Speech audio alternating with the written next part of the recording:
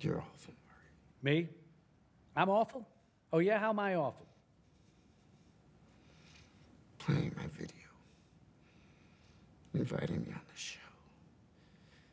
You just wanted to make fun of me. You're just like the rest of them. You don't know the first thing about me, pal. Look what happened because of what you did, what it led to. There were riots out there. Two policemen are in critical condition. You're laughing. You're laughing.